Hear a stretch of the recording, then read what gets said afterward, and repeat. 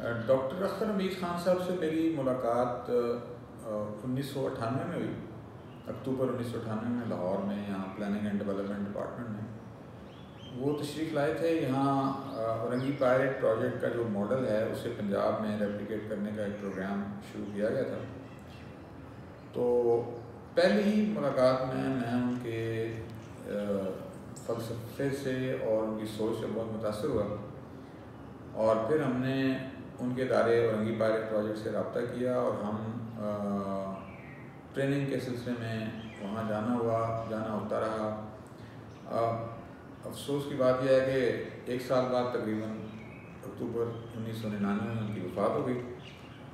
तो उसके बाद हम आ, उनके जो साथी थे उनके शागिर्द थे आ, और दोस्त थे आरिफ हसन साहब तस्नीमा मसदीकी साहब परवीन रहमान साहबा और अनवर राशिद साहब। इन लोगों से हमारा मुसलसल रबता रहा और हम उनसे सीखते रहे। और डॉक्टर साहब का जो अपनी मदद आपका फ़लसफ़ा था, वो बहुत मुतासर कन था हमारे लिए। क्योंकि ये वो ज़माना था जब एन जी ओज़ का बहुत ज़्यादा काम था और बहुत शोर वबा था। तो उस वक्त में ये बात कहना कि कम आमदनी वाले लोग अपनी मदद आपके तहत अपने मकामी और छोटे मसले हल कर सकते हैं, ये एक बहुत बड़ी बात थी। और हम, मैं चूँकि यहाँ डायरेक्टरेट जनरल कशीबाद पंजाब में काम करता हूँ तो हमें ये बात और ये फ़लसफ़ा और ये काम बहुत अच्छा लगा तो वहाँ से हमने सीखते हुए डायरेक्टरेट जनरल कच्ची आबादी पंजाब में इस फ़लसफ़े और इस तरीक़ेकार के मुताबिक पंजाब की कच्ची आबादी की अपनी पॉलिसी में कंपोनेंट शेयरिंग मॉडल जो डॉक्टर हमीद खान के सुरंगी पायलट प्रोजेक्ट का एक ख़ास तरीक़ाकार था, उसको अडॉप्ट किया पॉलिसी में। और यहाँ कच्ची आबादियों के अंदर हमने इस तरीक़ेकार के मुताबिक काम किया। इसके साथ साथ यहाँ लाहौर में हमने कुछ और दोस्तों के साथ मिलकर एक ऑर्गेनाइजेशन मोमिन के नाम से बनाई, जो कच्ची आबादियों में लोगों को टेक्निकल असिस्टेंस देती थी, अपनी मदद आपके काम के तहत। और फिर आरिफ हसन साहब और उनके साथियों के काम Punjab Urban Resource Centre Karachi की तर्ज पर यहाँ लाहौर में पंजाब अर्बन रिसोर्स सेंटर भी बनाया। और बाद में साहिबान का जो मॉडल है, खुदा की बस्ती का, उसे भी पंजाब में रेप्लिकेट करने का एजाज़ हमें हासिल हुआ और अलहमदिल्ला इस वक्त लाहौर में, लाहौर के करीब काला शराकों में खुदा की बस्ती भी अपने तमाम तर असूल और जवाब के साथ अपने फ़लसफे और अपने तरीक़ेकार के मुताबिक मौजूद है।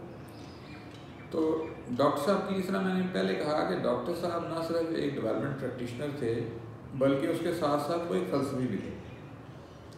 और हम चूँकि एक बैकग्राउंड रखते थे, जिसमें हमने अपनी स्टूडेंट लाइफ में एक इनकलाबी सोच के साथ, एक तब्दीली की माशरे के अंदर तब्दीली की सोच के साथ अपनी नौजवानी और तालब का ज़माना गुजारा था।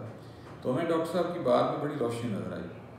और डॉक्टर साहब ने उन्नीस सौ अठानवे में जब वो पंजाब तशरीफ़ लाए तो उन्होंने एक बात ख़ास तौर पर कही थी और वो ये कहा था कि मैं आ, पाकिस्तान के मुख्तलिफ़ सूबों में काम किया है पंजाब में भी किया है लेकिन मुझे ऐसे लगता है डॉक्टर साहब के अल्फाज थे मुझे ऐसे लगता है कि अगर हमारे काम को पंजाब के अंदर लोग समझ लें और इस तरीक़ेकार को यहाँ अपना लें तो ये पाकिस्तान के अंदर तब्दीली का एक पेश खेमा साबित हो सकता है।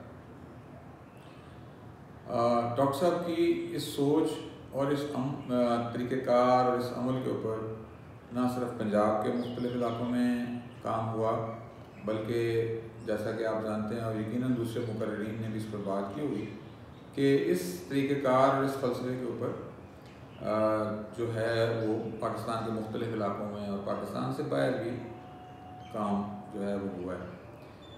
तो मैं ये समझता हूँ कि आज भी ज़रूरत इस बात की है, अगर हम गैर मुल्की कर्ज़ों से जान छुड़ाना चाहते हैं, अगर हम तरक्की करना चाहते हैं तो अपनी मदद आपके फ़लसफ़े के अलावा और तरीक़ेकार के अलावा कोई और तरीका नहीं है कि जिससे हम ख़ुद इन्हसारी हासिल कर सकें बतौर कौम और आज़ादी के साथ अपनी तरक्की और अपने फ़ैसले हम खुद कर सकें।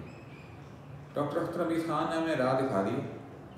अब उस पर अमल करना और उसके मुताबिक आगे चलना ये हमारा काम है। मुझे बहुत खुशी होती है अगर मैं इस सेमिनार में खुद शरीक होता और बाकी लोगों की बातें भी सुनता।